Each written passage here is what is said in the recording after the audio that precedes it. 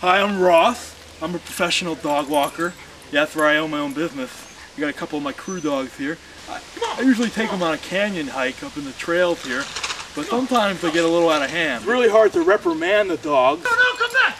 Good, enough! Sometimes they don't listen. Like, shut up, dog! Shh, shh, shh, shut up! Shh. Sit!